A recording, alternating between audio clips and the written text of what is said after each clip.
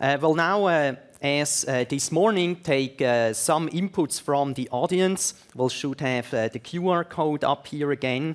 Uh, so that you can connect to the website where we vote on how to continue. You could also otherwise type uh, this email address that you see. While we keep this slide up for a moment, let me say how this continues.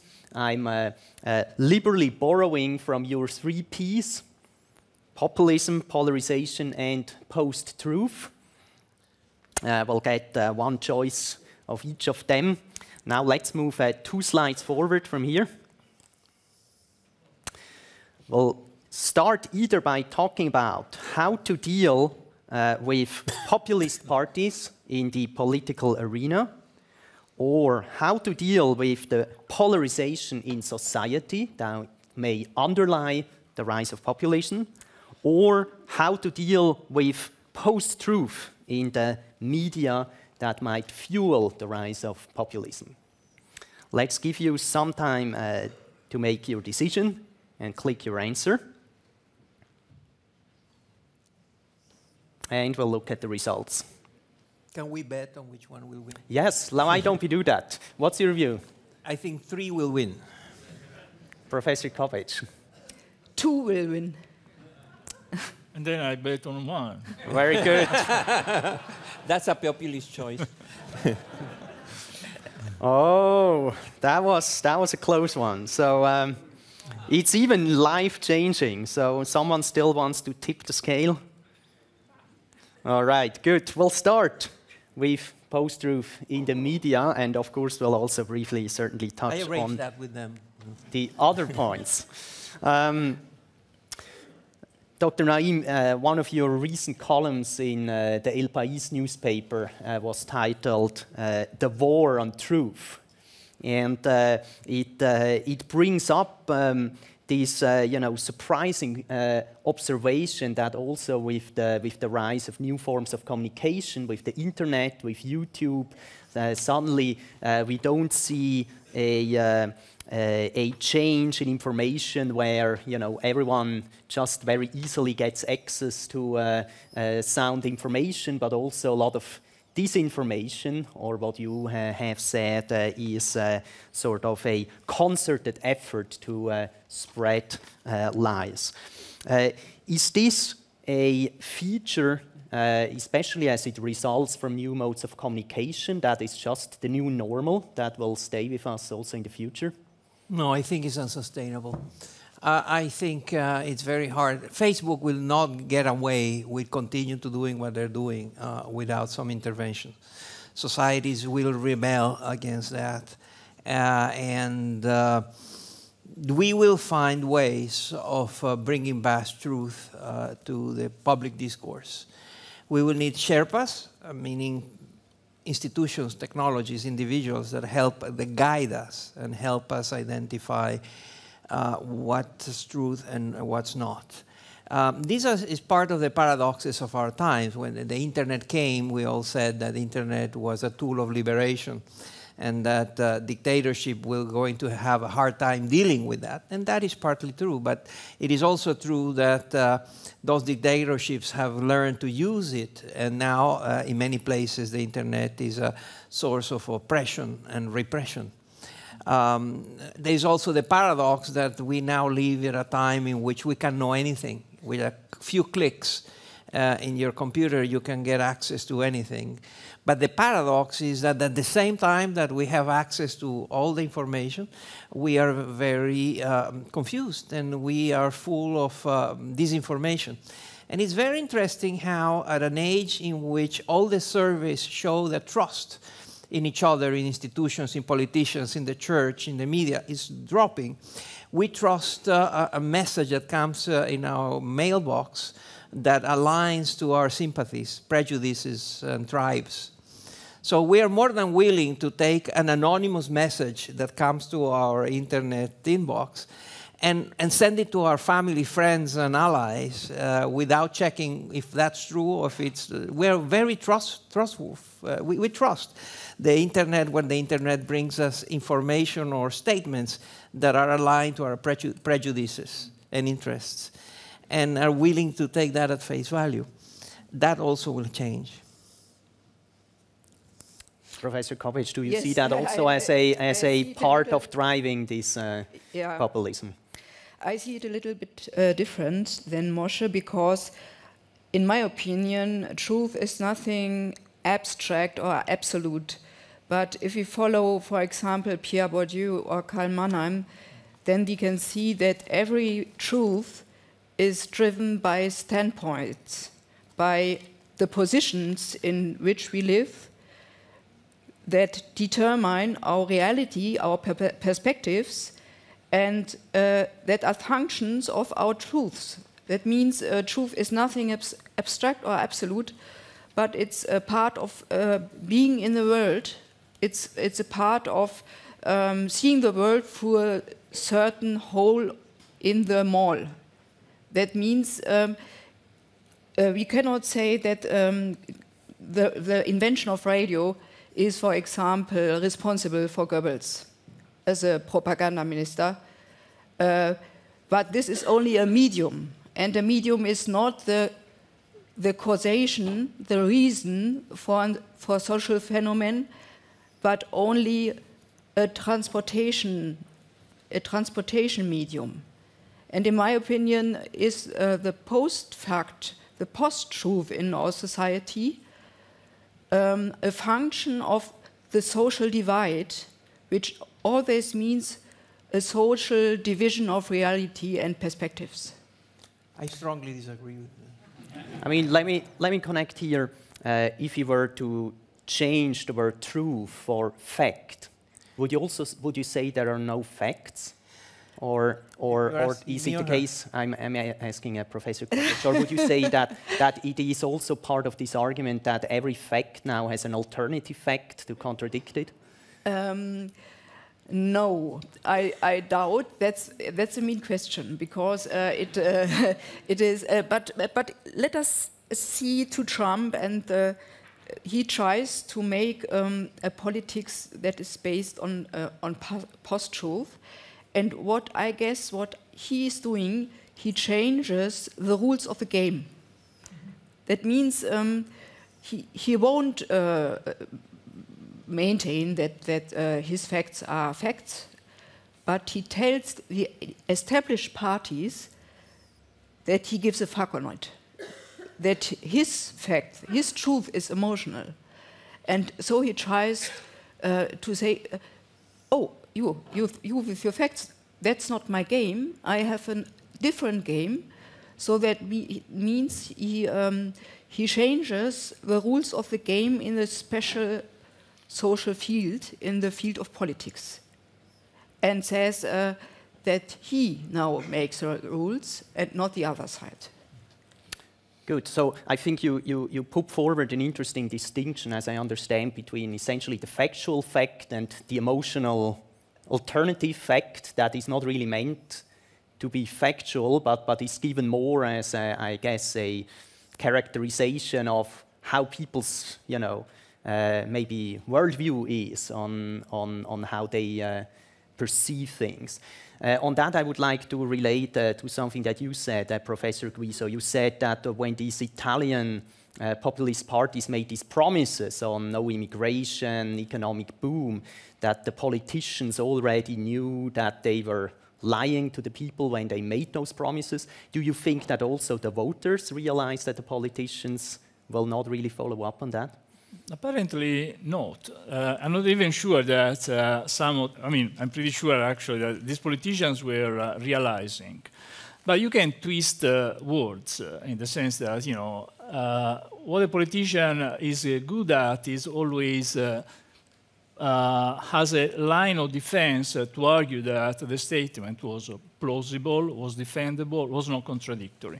Like, you know, when Di Maio was promising we have abolished poverty, there was a seed of truth there, in the sense that he wrote a law that was an anti, let's say, we could claim that was an anti-poverty law, but clearly was uh, stretching the uh, content of uh, truth in the statement to the point that you know the statement was largely a false promise. So the question is why, you know, today we can stretch words uh, so much and why people are uh, sort of uh, willing to digest and uh, tolerate uh, uh, Uh, uh, this type of uh, stretching. You know, in other times probably there would have been a rebellion on the side of the interviewer, on the side of the voters, for people that were sort of gaming with with the words.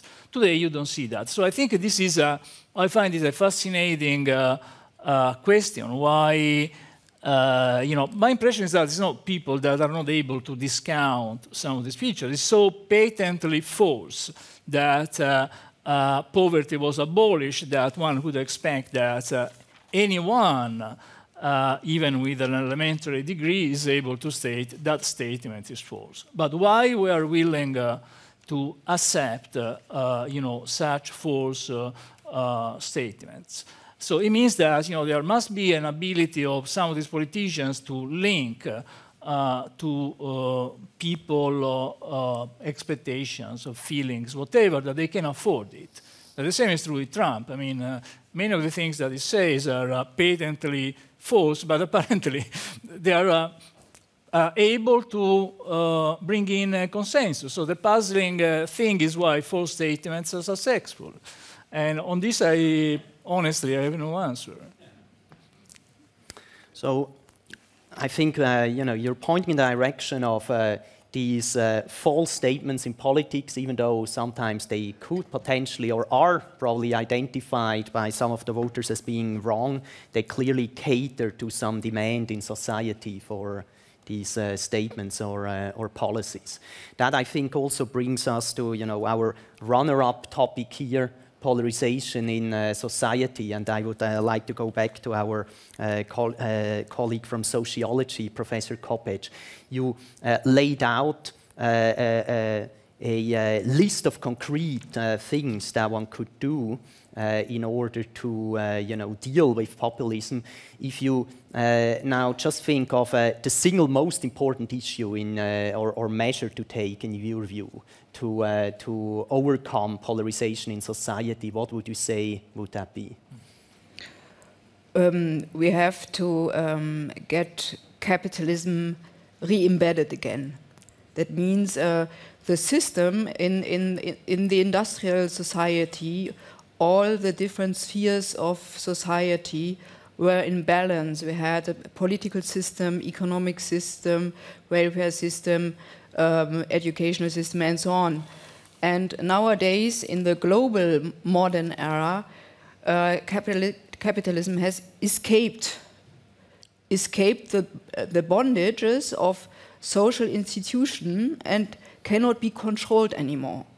So um, if we have if we try to, to reduce social inequality and to rebuild social polarization, then we have to re-embed the capitalism into a set of global institutions, global political and welfare and cultural in institutions, so that the world society comes uh, on a new emergent um, state of order, if you understand what I mean. That means we have um, the, the economic system is the fastest that has get abandoned from control and now we have to reset the other systems on a global to reorganize other systems on a global order in order to control the capitalism again this uh, strikes me as a very interesting uh, thought uh, that you bring up uh, a transnational welfare system, mm. given that um, many populist movements seem to be strongly nationalist. Wouldn't a transnational welfare system also mean, let's say, in the European context, that the Germans would have to pay a lot of money to poor people in Bulgaria, much more so than they do now? Yes, but uh, the, the, the persons who um, are proponents of uh, what I'm describing now as the global, new global order are not the same as the populists. That are different mm. uh, people. Because the populists try um, to do the opposite. They want to close their own society. They want to um, rebuild the borders and they want to have it like the industrial society in a national container. But this is not possible anymore, so the populists want the opposite from the global world system. Um, so if I can uh, jump in on this uh, on this discussion, I, I, think that the issue of the um, reforming, rethinking, uh, uh, revisiting the design of the welfare system is a super important one. Uh, now, clearly, you know, uh, as you were easily guessing, that if you say today, let's merge the welfare systems of Italy and Germany, uh, you don't get much support for it. A lot in Italy, probably, but not much in Germany. You know, uh, nobody's willing to sort of uh, transfer money to another uh, uh, to another country. But let's. Uh, um, stay within the borders of a single country and think, you know, if there is room for using the, the, design of the welfare system in order to answer some of the uh, current challenges? And my answer, I, I think, yes, definitely. Um, and the reason is the following, that um, our welfare system was mostly uh, thought, a big thing, it was doing two things. One is, to, you know, to provide uh, uh, money for uh, retirement, and, and, the other was uh, smoothing uh, the business cycle, so unemployment insurance, basically, which works perfectly if uh, the main issue is the up and down of uh, the business cycle, you have uh, an expansion, then it's followed by uh, uh, a recession, there is unemployment, and you need to take care of the people between uh, uh, the drops and the ups uh, in, the, in the business cycle. The impression is that today things are, uh, the nature of the shock is not predominantly macro, but it's mostly micro, enduring, and often not visible at the macro level. You know, for instance, in Germany is a country that went through the financial crisis pretty well, has been growing like crazy, unemployment rate is relatively low. So if you look at the macro picture, would say, why these people are uh, voting uh, for alliance for, uh, uh for Germany? Uh, you need to go micro in order to understand uh, the stuff. And probably, you know, the nature of the shocks that are bringing the anxiety that you are uh, uh, mentioning is more, uh, is much more uh, micro, is much more uh, uh, local.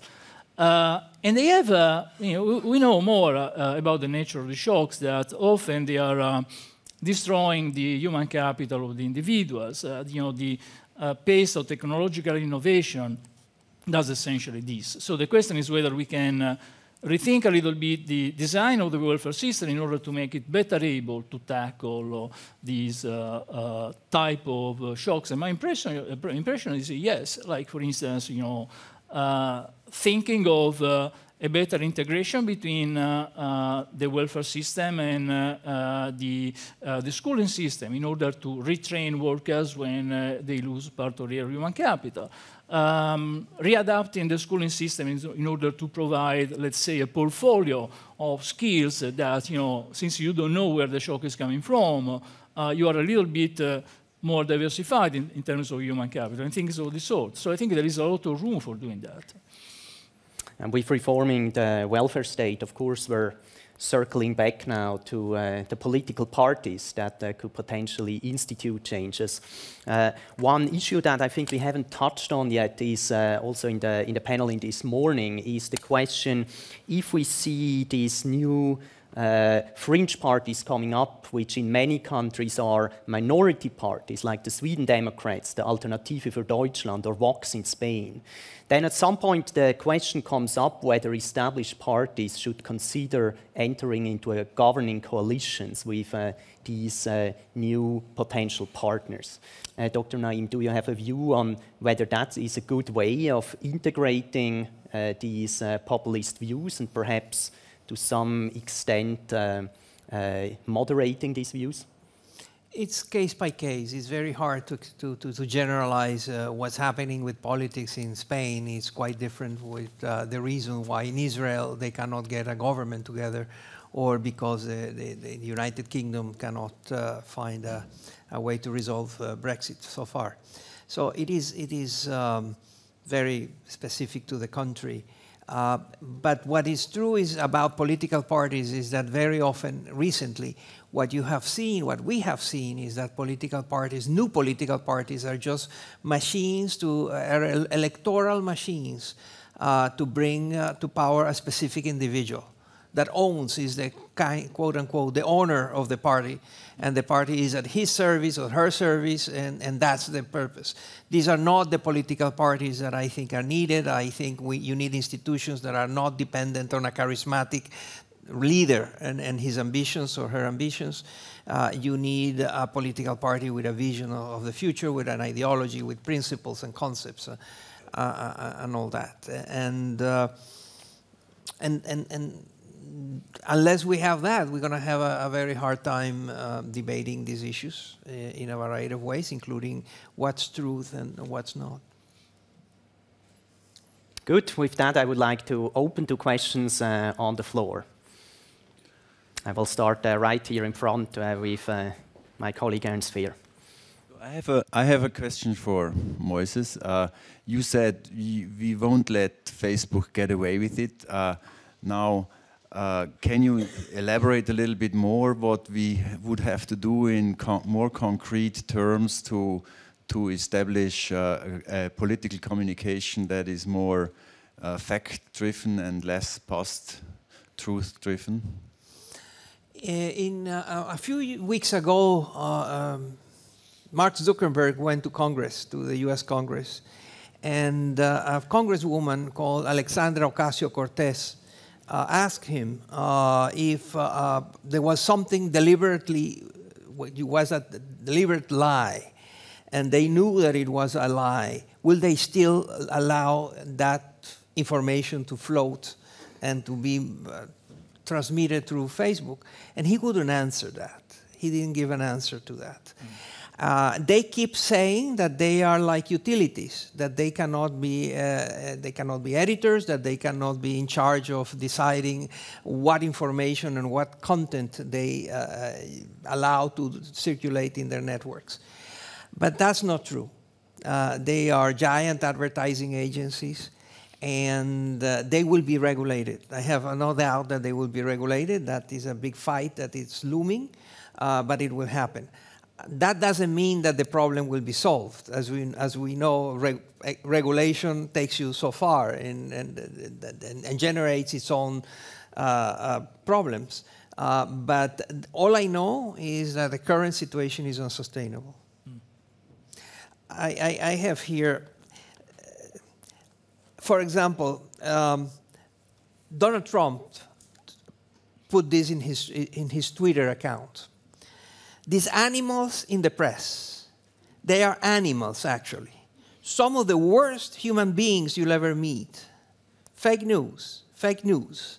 They are total, just terrible, dishonest people. This is the President of the United States in his Twitter feed. This is the person that has, uh, uh, have, has we counted, or the Washington Post has a unit that counts the lies, that does fact checking on the president. This is a president that has lied 12,000 times. Since, and and, uh, this, about lies or not, there is a very intelligent, erudite, philosophical even way of discussing what's truth and what's not, and everything is relative. But there are some things that are very concrete. We are in Zurich, and this is the afternoon, and that's not a relative uh, uh statement in, in, politics, there are statements like that that are not relative, that you can verify, that you can fact check, that you cannot allow uh, uh, things that are not true uh, to circulate. We are in Zurich and it's the afternoon. That I think we all agree on, and we're also agreeing on taking another question over there.